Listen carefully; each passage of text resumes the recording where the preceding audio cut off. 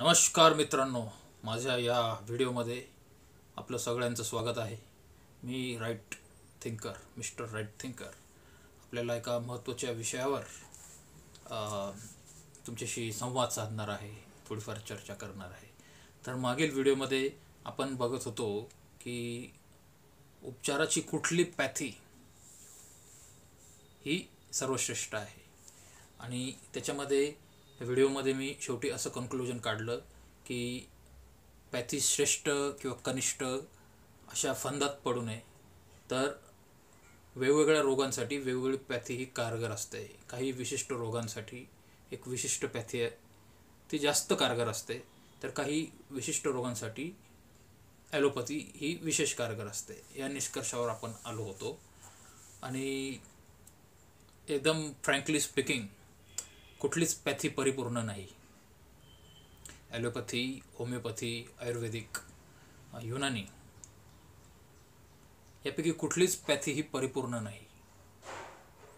आणि म्हणून मी जगातील सगळ्या संशोधकांना आवाहन करत आहे विचारवंतांना जे तत्वचिंतक आहेत त्यांनाही आवाहन करत आहे. आणि जे क्रिएटिव्ह थिंकर्स आहेत त्यांना देखील आवाहन करत आहे की एखादी अशी नवीन पॅथी नवीन उपचार पद्धती. ही याचा तुम्ही शोध लावा. नवीन तुम्ही त्याचं आविष्कार करा की ठीक आहे ह्या पॅथी ज्या आहेत विद्यमान ओके आहेत. प्रत्येकामध्ये काही फायदे तोटे आहेतच आहे. तर याच्यापेक्षा काही श्रेष्ठ पॅथी जगाला देता येऊ शकते का? तर याचा विचार नव्हे तर याच्यावर अन्वेन्शन आपण केलं पाहिजे. आणि ते अन्वेषण जोपर्यंत होईल तोपर्यंत आपल्या ज्या विद्यमान पॅथी आहे याचाच आपण सम्यक पद्धतीने वापर केला पाहिजे. आणि त्यासाठीच मी एक महत्त्वाचा मुद्दा या व्हिडिओमध्ये मांडत आहे की मिश्र पॅथी याला इंटिग्रेटेड पॅथी असं म्हणतात. किंवा इंटिग्रेटेड ट्रीटमेंट प्रोटोकॉल म्हणतात. तर त्याला इथून पुढे भविष्य आहे. कारण तुम्ही एकाच पद्धतीची उपचार पद्धती जर घ्याल तुमच्या क्रॉनिक डिसिजेससाठी तर ती एवढी कारगर ठरणार नाही. मिश्र पद्धतीने तुम्हाला उपचार पद्धती करावं लागेल. याचं एक चांगलं उदाहरण आता आजकाल आपल्याला समजून आलं की कोरोनाची ही जी महामारी तथाकथित महामारी जी आली दोन हजार वीसपासून भेडसावत आहे. त्याच्यातच लोकांना या गोष्टीचा प्रत्यय आला की फक्त आयुर्वेदिक एक आयुर्वेदाच्यावर तुम्हाला भिस्त ठेवता येणार नाही.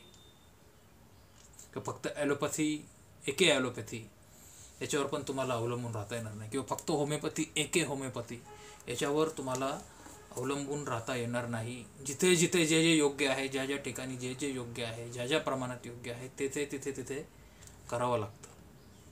आणि हे भारतात आपण केलं आणि जे आयुष मंत्रालय आहे भारत सरकारचं त्यांना मी सॅल्यूट करतो की त्यांनी फार पूर्वीपासूनच म्हणजे ही महामारी सुरू झाल्याच्या काही पाच सहा महिन्यामध्येच अशी एक ॲक्शन घेतली अशी माहिती दिली असे काही सर्क्युलर्स काढले त्याच्या वेबसाईटवर टाकले. आणि कोरोनावर आयुर्वेदिक उपचार देखील घेता येऊ शकतो ज्यांना घेण्याची इच्छा आहे. कोरोनावर होमिओपॅथी उपचार देखील घेता येऊ शकेल. आणि ऑफकोर्स ॲलोपॅथी म्हणजे मॉडर्न व्यथिने देखील उपचार घेता येऊ शकेल असं त्यांनी फरमान काढलं. आणि कुठले कुठले औषधं त्याच्यासाठी लागतील याची देखील त्यांनी वेबसाईटवर त्यांच्या माहिती दिली होती. आणि त्यात त्यांनी हे पण नमूद केलं होतं की हे तुम्ही तज्ज्ञांच्या मार्गदर्शनासाठी मार्गदर्शनाखाली घ्यायचं आहे आणि हे तुम्हाला आम्ही माहितीसाठी देत आहोत की हे औषधं लागणार आहेत आणि ह्या या शक्यता आहेत. तर त्यांचं हे त्यांचं हे जे पाऊल होतं ते अत्यंत स्तुत्य असं होतं आणि माझ्या मते जगामध्ये फक्त काही तुरळक देश असतील की ते अशा प्रकारचा प्रोटोकॉल वापरत असतील. जसं इराण. इराणमध्ये फार पूर्वीच कोरोनाबद्दल मी एक बातमी अशी वाचली होती की इराणचे डॉक्टर आहेत ते कोरोनावर ओवा ज्याला ओरेगॅनो म्हणतात कापूर लसूण वगैरे अशा गोष्टी देखील वापरत आहेत. त्याच्यानंतर बरेच असे पौवार्थ देश उदाहरण एक पौवार्थ देश आहेत इंडोनेशिया मलेशिया. तिथे देखील अशा प्रकारचे प्रोटोकॉल्स वापरले गेले. व्हिएतनाममध्ये देखील कोरोना लगेच संपुष्टात आला कारण त्यांनी देखील अशाच प्रकारचे उद्योग केले. आणि हे आपल्याला उशीर आलेलं शहाणपण आहे.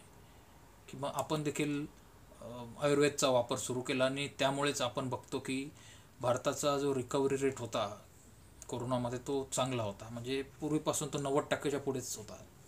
याला कारण असं होतं की आपण होमिओपॅथी आणि आयुर्वेद देखील वापरायचो. आणि पाश्चात्य राष्ट्रांमध्ये एवढ्या लोक मृत्युमुखी पडण्याचं कारण हेच आहे की तिथे फक्त ॲलोपॅथी एके ॲलोपॅथीच वापरली गेली. आणि बरेच जणांचा मृत्यू जो झाला तो उपचारांमुळे झाला. चुकीच्या पद्धतीने उपचार अतिउपचार अतिउपचार हा एक प्रकार आहे की अति औषधोपचार केला अति औषध दिले जास्त डोस झाला त्यामुळे किडनी फेल झाली हार्ट अटॅक आला किंवा यकृत फेल झालं यकृत डॅमेज झालं अशा पद्धतीमुळे त्या लोकांना मृत्यू आला आणि त्यांना थोडाफार कोरोना होताच. त्यामुळे ह्या सगळ्या मृतांचा आकडा हा कोरोनाच्या झालेल्या मृतांमध्ये समाविष्ट केला गेला आणि त्याच्यामुळे एक पॅनिकची लहर वाढली. त्यामुळे असा एक ग्रह झाला आणि मीडियाने देखील तो करून दिला. की कोरोना हा एक जीव घेणारा रोग आहे. कोरोना ज्याला झाला तो संपला. झाला तो संपला. त्याने विशेष सोडून द्यायचा. अशा प्रकारचा ग्रह अशा प्रकारचा गैरसमज करण्यामध्ये करवून देण्यामध्ये मीडिया यशस्वी ठरला. परंतु असं म्हणतात ना की सत्य आज न उद्या बाहेर येतच. त्याप्रमाणे भारतामध्ये रामदेव बाबा जे आहेत पतंजली तर त्यांनी त्यांचं जे औषध आहे ते रिलीज केलं. ते औषध आहे कोरोनिल. आणि कोरोनिलचा किट त्यांनी रिलीज केला ज्याच्यामध्ये तीन प्रकारचे औषधं होते. श्वासारी वटी होती. कोरोनिलची मेन त्यांची जी अँटीव्हायरल बुटी होती ती तीच ती जी गोळी आहे ती कोरोनिल होती. आणि एक नाकात टाकायची ड्रॉप्स असा किट त्यांनी पाचशे पंचवीस का पाचशे पंचेचाळीस रुपये साडेपाचशे समजून चाला साडेपाचशे रुपयामध्ये त्यांनी तो उपलब्ध करायला सुरुवात. आणि हे जेव्हा खबर आली तेव्हा माझी फार्मा लॉबी होती ॲलोपॅथीवाल्यांची. त्याचे धाबेदान आणले आणि त्यांना कळालं का रे कोरोनामध्ये आपली ही जेवढी कमाई चालू आहे ती चोपट होऊन जाईल. आपल्याला एक चांगली कमाईची संधी आली होती. ते अशा प्रकारच्या उपचारांमुळे ती निघून जाईल. मग त्यामुळे त्यांनी मग त्यांचं लॉबिंग करून मग त्यांचे ट्रोल्स असतात सोशल मीडियावर त्यांचे आय टी सेल्स असतात राजकारणामध्ये त्यांचे हितसंबंध असलेले नेते मंडळी असतात त्यांच्या कर्वे त्यांनी मग ते रान उठवायला सुरुवात केलं. इथे समजून घ्या मी इथे कोरोनेलचा असं पूर्ण समर्थक नाही आहे ती एक चांगली गोळी आहे बऱ्याच जणांचे प्राण तिने वाचवलेले आहे. पूर्ण समर्थन नाही माझं सम्यक जे समर्थन असतं म्हणजे योग्य प्रमाणात मी त्याला समर्थन करतो. अतिफाजीलपणाने मी त्याच्या आहार तसंच ॲलोपॅथीचं पण मी अतिफाजीलपणे समर्थन करत नाही. कारण प्रत्येकामध्ये काही ना काही खामी आहेच. प्रत्येक पॅथीमध्ये काही ना काही खामी आहे. म्हणून मी पूर्ण समर्थन करत नाही. जिथे जिथे जे योग्य असेल तिथे तिथे ते वापरलं जावं. हा असा माझा पहिल्यापासूनचा एक तर्क आहे. आणि ते वापरलं गेलं. त्यामुळे आपण एक चांगली रिकव्हरी आपल्या रुग्णांची करून दाखवली. आणि सगळं जग आश्चर्यचकित होतं.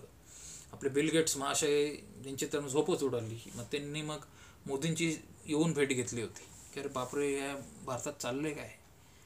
हे कोणी मरतच नाही आहे लोक नीट होत आहे. मग असं जर झालं तर मग आपला जो वॅक्सिनेशनचा जो अजेंडा आहे जगाचं वॅक्सिनेशन करायचं असं त्याची राक्षसी महत्त्वाकांक्षा आहे बिल गेट्सची आणि त्याची त्या मंडळींची. ती उजळली जाईल. मग होणार कसं? मग त्यांनी मोदींची भेट घेतली आणि काय झालं काय काय चर्चा झाली काय ठरलं काय माहीत. मग त्याच्यानंतर मग कोरोना वाढायला लागला भारतामध्ये. हे बघा तुम्ही स्वतः बघा त्याचे व्हिडिओ काढा त्याची क्रोनॉलॉजी बघा. तुम्हाला कळून येईल की बिल गेट्स यांनी जी भारताला भेट दिली पंतप्रधान मोदींची भेट घेतली आरोग्यमंत्र्यांची भेट घेतली त्यांची चर्चा झाली आणि त्याच्यानंतर मग कोरोना हा भारतात वाढायला लागला. हे बघा तुम्ही. म्हणजे हा एक परिस्थितीजन्य पुरावा म्हणता याला. या गोष्टी आहेत. डॉक्युमेंटरी प्रूफ आहे याला. तुम्ही स्वतः त्याचा अनुमान काढू शकता की असं काय झालं की सगळं चांगलं चाललं होतं. कोरोना नामशेष करणारच होतो आपण. अचानक बिलगेट्स महाशय भेटतात पंतप्रधान मोदी यांना. आरोग्यमंत्री हर्षवर्धन यांना. आणि मग त्याच्यानंतर कोरोना वाढायला लागतो. तर समजणाऱ्या लक्षात समजून जाईल काय समजण्यासारखं आहे. तर हे आहे की पॅथी अशी कुठली श्रेष्ठ कनिष्ठ असं आपण ठरवायचं नाही की ज्या ज्या ठिकाणी जे जे योग्य असतं ते ते वापरावं लागतं. उदाहरणार्थ टॉन्सिल. हा टॉन्सिलचा जो आजार आहे लहान मुलांना होत असतो. मोठ्या लोकांना पण काही काही होऊ शकतो. पुन्हा ते सुजू शकतात टॉन्सिल तर याच्यावर ॲलोपॅथीमध्ये ऑपरेशन हाच एक उपाय की ऑपरेशन करून ती ग्रंथी काढून टाकावी लागते. आणि हे एक निसर्गाच्या विरुद्ध काम आहे. मुळात ती टॉन्सिल ग्रंथी का दिलेली आहे? निसर्गाने. निसर्गाने ती ग्रंथी त्याच ठिकाणी का ठेवलेली आहे? तर याच्यामागे निसर्गाची फार मोठी योजना असते. आणि ती एक रोगप्रतिकारक श- शक्ती आहे आपली. सगळ्यात मोठा डिफेन्स आहे तो आपला की आपला घसा हाच एक असा मार्ग आहे की जिथून फॉरेन पर फॉरेन जे पॅरासाइट्स आहे सूक्ष्मजीव आहे ते तुमच्या शरीरामध्ये प्रवेश करू शकतात. म्हणून मग तिथे एक अशी खतरनाक अशी डिफेन्स म्हणजे सिस्टीम सीमा सुरक्षा दल जे असतं आपलं त्या पद्धतीचं ते तिथे ठेवण्यात आलेलं आहे टॉन्सिलच्या रूपाने. त्यामुळे ती सुचते तिचे ते द्रव्य तयार करते आणि ते द्रव्य तयार करण्याचं तिचं इन्फ्लेमेशन होतं आणि त्यामुळे ती सुचते आपल्याला ताप येतो उलट्या येतात वगैरे. तर ह्या टॉन्सिलवर जे आहे ना ॲलोपॅथीमध्ये जर खूप त्रास होत असेल तर मग ते काढून टाकायला लावतात. आणि ही जी ग्रंथी आहे ती निष्कारणच आहे असं त्यांचा तो दावा असतो. पण होमिओपॅथीमध्ये याच्या इलाज आहे. होमिओपॅथीमध्ये अत्यंत कमी खर्चामध्ये तुम्ही त्या टॉन्सिलचा कायमस्वरूपी इलाज करू शकतात. आणि मला मी माझ्या स्वतःच्या अनुभवाने सांगतो. की माझ्यावर पण लहानपणी ही ती नोबत आली होती.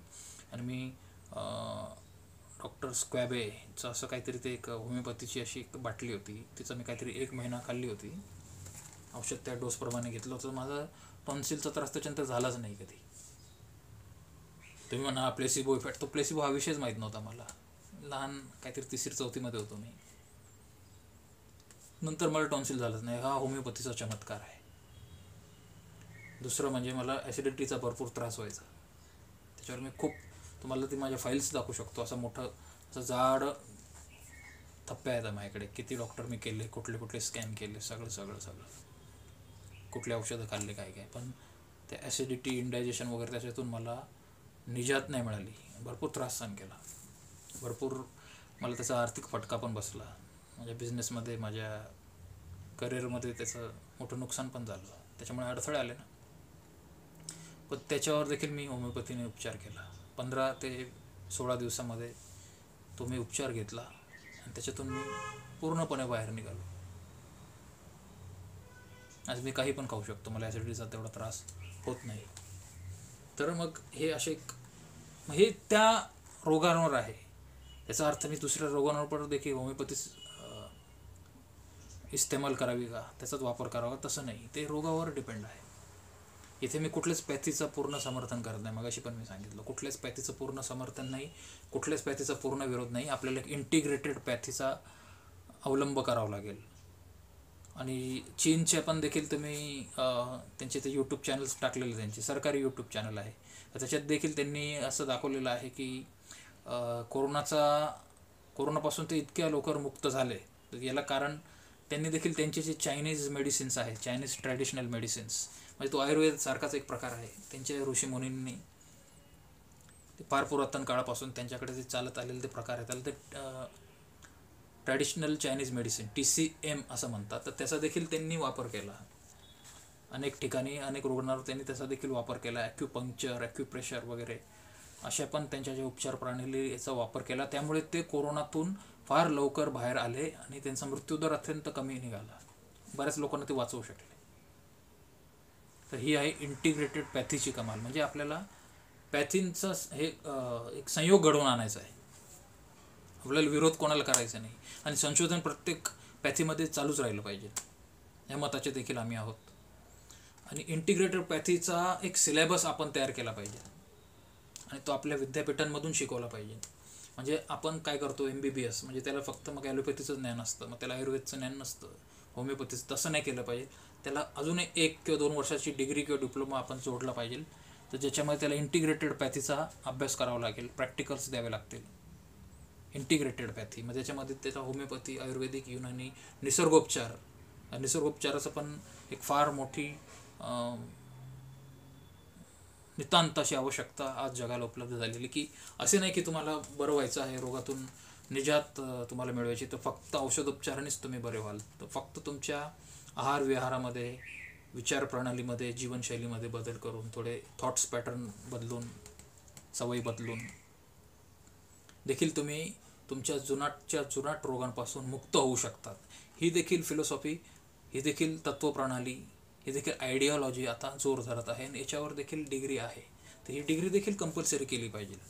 मग तो होमिओपॅथीचा जरी डॉक्टर असला आयुर्वेदचा जरी डॉक्टर असला तरी देखील त्याला नॅचरोपॅथी आणि ॲलोपॅथीचे म्हणजे मिश्र अभ्यासक्रम आपण शिकवला गेला पाहिजे. मिश्र अभ्यासक्रम हा आपण शिकवला गेला पाहिजे. त्या विषयाचं जे महत्त्वाचं ज्ञान आहे तर त्याला दिलंच पाहिजे. ज्याच्यामध्ये त्यांनी बॅचलर किंवा मास्टर्स केलेलं आहे. पण त्याच्या जोडीला एक ते दोन वर्षाचा डिप्लोमा किंवा डिग्री देखील त्याच्या करिक्युलममध्ये जोडली गेली पाहिजे जी मिश्रपॅथी म्हणजे integrated treatment protocol I T P integrated treatment protocol तर याच्यासाठी आपण भारत सरकारच्या शिक्षण खात्याकडे आपण आग्रह धरला पाहिजे. आणि हे आपण घडवून आणलं पाहिजे. तितके बोलून मी हा व्हिडिओ इथे संपवत आहे. पुढील व्हिडिओमध्ये आपण पुन्हा भेटूया आणि अशाच एका महत्त्वाच्या विषयावर आपण नक्की चर्चा करूया. हे माझं चॅनल आहे. तुम्हाला आवडत असेल तर याच्या ह्या व्हिडिओला तुम्ही लाईक करा. माझी इतर व्हिडिओ आहे ते देखील बघा. माझे विचार जाणून घ्या. आणि चॅनल सबस्क्राईब करण्याची इच्छा झाली तर सबस्क्राईब करा. आणि खाली कमेंट बॉक्समध्ये काही प्रश्न असतील काही कमेंट करण्यासारखे असतील तर अवश्य करा. आपण पुढच्या व्हिडिओमध्ये अवश्य भेटूया. तोपर्यंत नमस्कार जय हिंद जय भारत.